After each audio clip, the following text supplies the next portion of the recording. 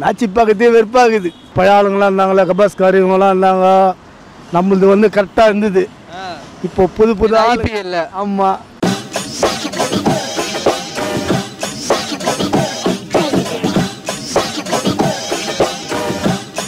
Oscar racecar நமஸ்கார் நெட்டி for you CSK versus Delhi Capitals அவங்க கூட மேட்ச் சேப்பாக்கில் நடக்க போகுது.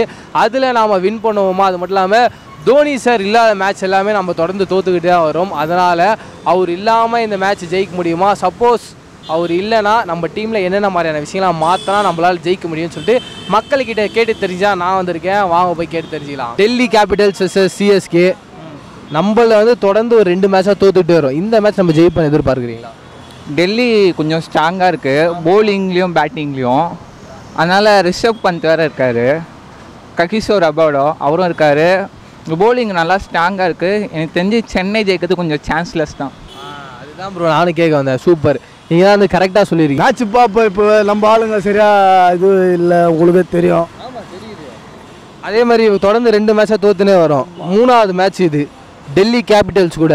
நம்ம இவர் பழைய ஆளுங்களாம் இருந்தாங்களே கபாஸ்கார் இவங்களாம் இருந்தாங்க. நம்மளது வந்து கரெக்டாக இருந்தது. இப்போ புது புது ஆள் ஐபிஎல்ல. ஆமாம் புது புது ஆளுங்க வந்து சேர்ந்து யாருன்னு அவனுங்களுக்கு தெரியுமில்ல பேனர் தாங்குது. ஆனால் நம்மளது தோத்துந்தாங்குது மேட்ச் பார்க்கறதே வெறுப்பாகுது. இத்தனை இருக்குது. இதான் உங்ககிட்ட ஐடியா இருக்குதா? செலவுக்கு தான் பண்ணுறாங்கல்ல நம்ம ஆளுங்க. எல்லாம் சலிக்க தானே பண்ணுறாங்க உங்களுக்கு ஃப்ளைட்லேருந்து சாப்பாடுலேருந்து எல்லாமே அது. பேனர் கிணறுன்னு வைக்கிறானுங்க. அப்படி இருந்தால் உங்களுக்கு ஆறத்துக்குன்னா ஏன் தோக்குறீங்க? அப்போ அவனுங்க அவனுங்க வந்து ஆட்சியை கைக்கிற அளவுக்கு நீங்கள் எதுக்கு? உங்களுக்கு என்ன சலுகை அப்போ? தோனி ஓரளவுக்கு அந்த ஆள் இறங்கி செய்வாருன்றது நம்மளுக்கு தெரியும். இவன் இன்னொருத்தன்லாம் நம்மளுக்கு தெரியாது. மேட்சை பார்த்தா தான் பார்ப்போம் நாங்கள் இப்போ பார்க்கறதே வெறுப்பாக இருக்குது. போடுறானுங்களே அடிபட்டு பட்டு பட்டுன்னு. பட்டு பட்டு முடிஞ்சு பட்டு பட்டு பட்டு. கபாலி எல்லாரையும் சொல்லலாம். அச்சு தூக்கு வந்து சிக்ஸ் ஃபோர்ன்றது இன்ட்ரெஸ்டாக இருக்கும். இப்போ வருவனுங்க எல்லாம் சின்ன சின்ன பசங்களாக இருக்கிறானுங்க. நம்ம என்னத்தான் சொல்கிறது அதே மாதிரி வந்து இந்த சின்ன பசங்க தான் அவங்க பெரியவங்க அடிச்சவங்க எல்லாம் ஒதுக்கிட்டாங்க. தவளை தவளுண்டு வந்து சேர்ந்துக்கிச்சிங்க எல்லாம் தோற்றுந்தானுங்க நம்மளது இந்தியா. சூப்பர். அல்ல தோற்றுந்தாங்குதுப்பா ஜெயிக்கிறோம் நம்ம ஒரு நாள் ஜெயிக்கிறோம். ஜெயிப்பான் அதுக்கு ஏற்ற மாதிரி ஆள் இருக்கு நாங்கள் கண்டிப்பாக நம்ம ஜெயிப்போம். கண்டிப்பாக ஜெயிப்போம். நான் தோனி இருப்பார் இந்த மேட்ச் இப்போ நாட்டி ஃபீவர்னு சொல்லி இது பண்ணிட்டாங்க ரெஸ்ட் கொடுத்துட்டாங்க. கண்டிப்பாக இருப்பான். ஆனால் இந்த மேட்ச்சில் வந்து ஆக்சுவலாக வந்து தோனி சார் வந்து அந்த ப்ராக்டிஸ்னு தெரியுங்களா? அதுலேயே அவர் இல்லை. அப்போ மேட்ச்சில் வரது கண்டிப்பாக இருப்பாங்க. ஏன்னா குவாலிஃபை ஆகணும். ஒரு மேட்ச் நம்ம ஃபஸ்ட்டு டூ பிளேஸில் பிடிக்கணும் கண்டிப்பாக அந்த ஒரு மேட்ச் வின்னு தேவைப்படுது. அதனால டோனி இருப்பான் கண்டிப்பாக கண்டிப்பாக இருப்பான் கரெக்டாக இருக்கும். தோனி இருந்தால் தான் தோனி இல்லாமல் தான் தோனி இருந்தால் தான் கரெக்டாக இருக்கும் அவங்களுக்குலாம். தோனி யாருன்னு காட்டணும்ல? சிஎஸ்கே டெல்லி கேபிட்டல் மேட்ச் நடக்க போகுது. அந்த மேட்ச்சில் நம்ம ஜெயிப்போம் எதிர்பார்க்குறீங்களா? டெல்லின்னு ஒரு டீம் இருக்கா?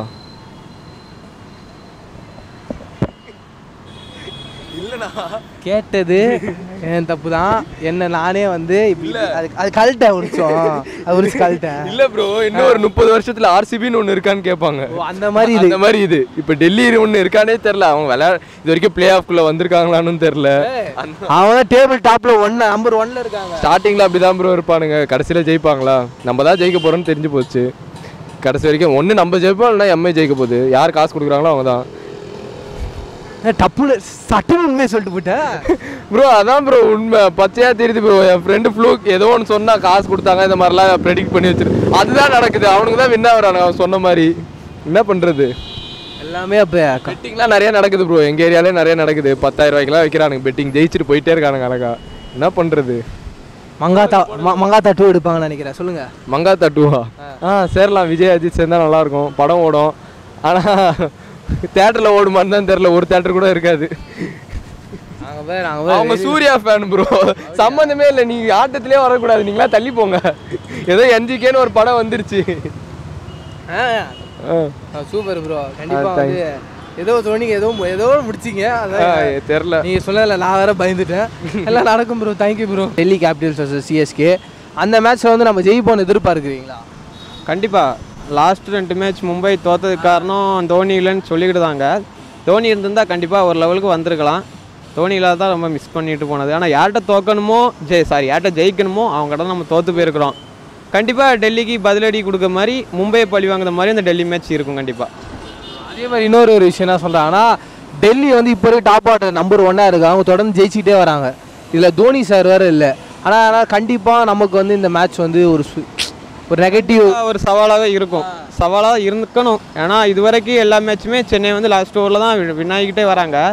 நார்மலாக நம்ம மிம் கிரியேட்ஸும் அதை தான் கலாய்ச்சிக்கிட்டு வரோம். லாஸ்ட் ஓவரில் வின் பண்ணுறோம் வின் பண்ணுறோம் வின் பண்ணுறோம் தான் கண்டிப்பாக சவாலாக தான் இருக்கும். டெல்லி டீமையும் நம்ம குறை சொல்ல முடியாது. ஏன்னா அவ்வளோமே யங்ஸ்டர்ஸாக இருக்கிறாங்க. ம். அந்த டீமை தான் எல்லாரும் கழுவி கழுவி ஊற்றிட்டு இருந்தாங்க. ராங் சைடில் பேக் சைடில் அவங்க ஒரு டேபிள் ஃபர்ஸ்ட் வந்துட்டாங்க. சொல்ல முடியாது. ரொம்ப ஸ்ட்ராங்காக இருக்கலாம். டெல்லி கேபிட்டல்ஸ் சிஎஸ்கே மேட்ச் நடக்க போது நம்ம ஹோம் கிரவுண்டில் ஆனால் போன வாட்டி அவங்கள வந்து போட்டு தள்ளிட்டோம். இந்த மேட்ச்சில் நம்ம ஜெயிப்போம் எதிர்பார்க்குறீங்களா? ப்ரோ சென்னைக்கு வந்து எப்படின்னா டெல்லி கேபிட்டல்ஸ் வந்து இது வரைக்கும் நல்லா ஆடுறாங்க. அவங்ககிட்ட டேபிள்லையும் ஃபஸ்ட் இருக்காங்க. சென்னை வந்து கேப்டன்ஸ் தோனி இருக்கிற வரைக்கும் மேட்ச் ஒழுங்கா போகுது.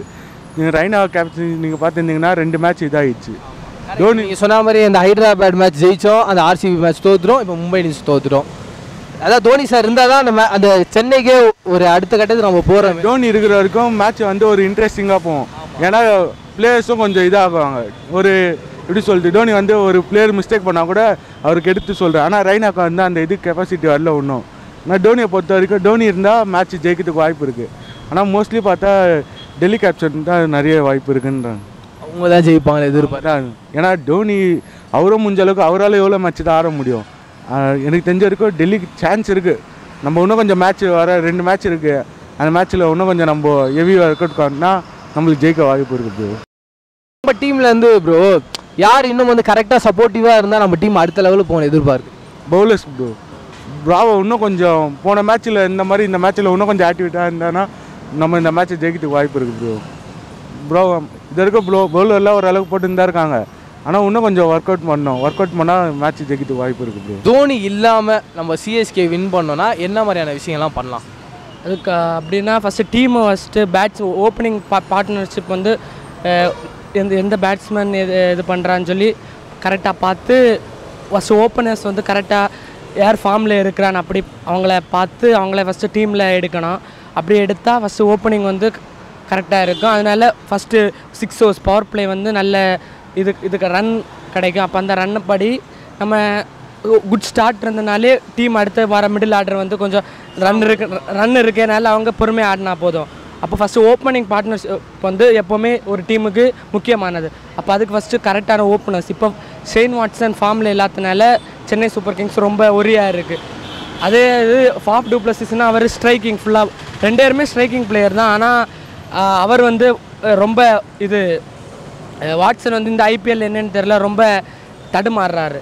அதனால சிஎஸ்கேக்கு வந்து ஓப்பனிங் நல்லா இல்லாதனால நிறைய மேட்ச் அதனாலே முக்கியமாக நாலு விக்கெட்ஸ் மூணு விக்கெட் பவர் பிளேயில் இழந்துறாங்க அதனால கொஞ்சம் ஹோப் வந்து குறவாக இருக்குது டோனி தான் வந்து ரீபில்டு பண்ணி மேட்ச்சை இன்ட்ரெஸ்டிங்காக கொண்டு போகிறாரு அதனால தான் ஃபஸ்ட்டு ஓப்பனிங் கரெக்டாக இது பண்ணிவிட்டு மிடில் எந்த பேட்ஸ்மேன் எந்த சுச்சுவேஷனில் இது பண்ணேன்னு சொல்லி அவங்கள கரெக்டாக அந்த இது ஆர்டரில் அவங்கள இறக்கணும். இறக்குனாலே போதும். அப்புறம் டெத் பவுலிங் வந்து இப்போ ஒரிசா இருக்குது டெத் பவுலிங் மட்டும் அவங்க கொஞ்சம் நல்ல கான்சன்ட்ரேஷன் பண்ணால் மேட்ச் ஜெயித்து டோனி இல்லாமல் அது ரேனாக் வந்து இது அவ்வளோ கேப்டன்சி அந்த ஸ்ட்ர- இது இல்லை. அவருக்கு திறமை திறமை இருக்குது இருந்தாலும் டோனி அளவு யாருக்குமே கிடையாது. டோனி வந்து அவர் எந்த சுச்சுவேஷனாக இருந்தாலும் கூலாக இருந்து எல்லாத்தையும் அவர் மெயின்டைன் பண்ணுவார். அதனால் மேக்ஸிமம் எல்லா மேட்சுமே அவருக்கு அந்த ஸ்கில்ஸ் இருக்குது அதனால் அவர் டீமை எப்போவுமே அந்த வின்னிங் பாத்லேயே கொண்டு போயிடுவார். அதனால் சிஎஸ்கேக்கு டோனி இல்லாமல் இருந்தாலும் ஒரு சான்ஸ் இருக்குது ஆனால் டோனி இருந்தால் தான் ஹண்ட்ரட் பர்சன்டேஜ் சான்ஸ் இருக்குன்னு சொல்ல முடியும். தோனி அவர்கள் இல்லை. தோனி இல்லாத இனிமேல் வரக்கூடிய மேட்ச்க்கெலாம் என்ன சொல்கிறாங்கன்னா அடுத்த ஆர்சிபி மாதிரி ஆயிரும் சிஎஸ்கே அப்படின்றாங்க. அது நீங்கள் எப்படி பார்க்குறீங்க அந்த மாதிரி இருக்குமா? இல்லை கண்டிப்பாக சிஎஸ்கே வந்து யாராலும் எதுவும் பண்ண முடியாதுன்னு நினைக்கிறீங்களா? இல்லை அப்படின்னு சொல்ல முடியாது. தலை சிறந்த தலைவன் போயிட்டான்னா அவனுக்கு பின்னாடி இருக்க தொண்டை எவனாச்சும் வழி நடத்துவான்ல கண்டிப்பாக தலைவன் போயிட்டான்னா அதுக்குன்னு அந்த டீம் அப்படியே படுத்துன்னு சொல்ல முடியாது. பின்னாடி இருக்க ஏதாச்சும் புது யுக்தி முறையாக அறிமுகப்படுத்திட்டு போயிருப்பான். தோனின்னு ஒரு தூண் இருந்துச்சு. அந்த தூண் சாஞ்சிருச்சுன்னா பின்னாடி இருக்க தூண் ஏதாச்சும் கொடுத்து ஸ்ட்ராங் படுத்தானே பார்ப்பாங்க. ஒரு தூணே நம்பி இருக்க மாட்டான்ல எதனாலுமே. தோனி போயிட்டா பின்னாடி வர ஆள் கண்டிப்பாக சிஎஸ்கே வழி நடத்தும். சிஎஸ்கேயும் வர எல்லா ஐபிஎல்லையும் டஃப் கொடுக்கும் எல்லா டீமுக்கும் இதே மாதிரி. எல்லா பிளேயர்ஸுக்கும் போவோம். கண்டிப்பாக சிஎஸ்கே தான். சிஎஸ்கே தான் எப்போவுமே. சிம்பிளாக கண்டிப்பாக சிஎஸ்கே தான். கப் அடிக்காட்டாலுமே டஃப் கொடுத்து பிளே ஆஃப் வரைக்கும் எல்லாத்தையும் பயமுடுத்த டீமாவது இருக்கும். தோனி இல்லாத ஒரு சிஎஸ்கே வந்து ஆர்சிபி மாதிரி இருக்கு அப்படின்றாங்க. அது உண்மைதான். உண்மைதானே அது? அதான் உண்மைதான். அது கன்ஃபார்ம் சென்னைனாலே தோனி சார் தான். ஒரு ப்ராக்டிஸ் மேட்ச்லேயே கிடையாது. கண்டிப்பாக மேட்ச்சில் இருக்க மாட்டாருன்னு எல்லாரும் சொல்கிறாங்க அதனால ரொம்ப அதாவது பார்த்தீங்கன்னா நம்ம சென்னையை வந்து ஆர்சிபி லெவலில் பார்க்குறாங்க அதை நீங்கள் எப்படி பார்க்குறீங்க இப்போ டோனிலாம் டீம் வந்து ஸ்ட்ராங்காகவே இருக்காது. டோனி கண்டிப்பாக இருந்தால் தான் டீம் வந்து வின் பண்ணோம். சுரேஷ் ரெய்னாவை கேப்டனாக போட்டால் அவர் வின் பண்ண மாட்டார். ரெண்டு மேட்சாக நம்ம பார்த்தோம். வின் பண்ணல அவர். டோனி கண்டிப்பாக இருந்தால் தான் இந்த மேட்ச் வின் பண்ணுவோம் இல்லை நம்ம பாயிண்ட்ஸ் டேபிள்லேருந்து கீழே வந்துடும் கண்டிப்பாக அடுத்த மேட்ச் மும்பை வின் பண்ணாங்கன்னா. அவ்வளோதான் இல்லைன்னா பிளே ஆஃப்ஸ்க்கு வந்து சென்னை வந்து எலிமினேட்டர் லிஸ்ட் தேர்ட் லிஸ்ட்டில் வந்துடும் ரெண்டு மேட்ச் ஃபேஸ் பண்ணுறதா இருக்கும். அவங்க இந்த மேட்ச் கண்டிப்பாக வின் பண்ணி ஆகணுங்க. இன்னும் நம்ம டஃப் ஆகிடும் அதாவது ஃபைனல்ஸ் போகிறோம் ஆமாம் ஃபைனல்ஸ் போகிறதுக்கு இன்னும் ரெண்டு மேட்ச் வந்து ப்ளே பண்ண வேண்டியதாக இருக்கும். டஃப் காம்படிஷனாக இருக்கும் சென்னைக்கு ஃபைனல்ஸ் போகிறதுக்கு ஃபஸ்ட் மேட்ச் வந்து சென்னையில் செமிஃபைனல் ஃபஸ்ட் மேட்ச் சென்னையில் நடக்கிறதுனால இப்போ அவங்க குவாலிஃபை ஆகிட்டாங்கன்னா ஃபஸ்ட்டு டாப் டூவில் வந்துட்டாங்கன்னா சென்னையிலே மேட்ச் நடந்துச்சுன்னா இவங்களுக்கு டஃப்பாக இருக்காது ஃபைனல்ஸுக்கு போகிறதுக்கு அதனால டாப் டூவில் வரணும் அவங்க டெல்லி கேபிட்டல் சைடில் வந்து சின்ன பசங்க எல்லாருமே ரொம்ப டஃப் கொடுக்குறாங்க. ஆனால் தோனி சார் ஒருவோட இது இன்டர்வியூவில் ஒன்று என்ன சொல்லியிருந்தாருன்னா இந்த மாதிரி பேசிகிட்டு இருக்கும்போது எப்பயுமே வந்து ஐபிஎல்லை பொறுத்த வரைக்கும் வந்து எக்ஸ்பீரியன்ஸ் தான் பேசும். சின்ன பசங்க பெரிய பசங்க அப்படின்றது இல்லை அப்படின்றாங்க. சப்போஸ் அவங்க இந்த மேட்ச்சில் வின் ஆகிறதுக்கான வாய்ப்பு இருக்கா? வாய்ப்பு அவ்வளோ இருக்காது. ஏன்னா நடக்குது ஹோம் கிரவுண்டில் கண்டிப்பாக டோனி ஒரு பிளானோட தான் வந்திருப்பாரு. கண்டிப்பாக அது மேட்ச் ஜெயிச்சே ஆகணும் கண்டிப்பாக சொல்லிட்டு வாய்ப்பு இல்லை எனக்கு தெரிஞ்சு. ஏன்னா ஆல்ரெடி ஒரு மேட்ச் ஜெயிச்சிக்கிறோம் நம்மகிட்ட அவங்க ஹோம்லேயே போயிட்டு அது ஒரு ப்ளஸ் பாயிண்ட் அது நம்மளுக்கு தில்லா சொல்லலாம் போய் ஜெயிக்கலாம்னு சொல்லிட்டு. வாய்ப்பு இல்லை ஆனால் கண்டிப்பாக நம்ம தான் ஜெயிக்கிறோம். நீ நைட்டு மேட்ச்சில் தெரியும் நம்ம தான் ஜெயிக்கிறோம். நீங்கள் ஏதாவது ஒரு பிளேயர் நம்பிக்கை வச்சுருப்பீங்களா? இவரான கண்டிப்பாக ஜெயிச்சிடும் அதனால கேட்குறேன் ரைனா கொஞ்சம் கேப்டன்சி நல்லா பண்ணலாம். அவ்வளோதான் அவர் பண்ணால் ஜெயிச்சிடலாம். நல்லா கேப்டன்சி பண்ணால் ஜெயிக்கலாம். தேங்க்யூ அப்படியா இதில் ஆஃப் அன் ஹவர் யார் பேசினா? நான் தான் பேசினேன். அவன் ஒன் வேர்டில் ஆன்சர் சொல்லலாம் ஃபிலிம் வேக்ஸில் அதே படிப்பான் போல சின்ன வயசில்.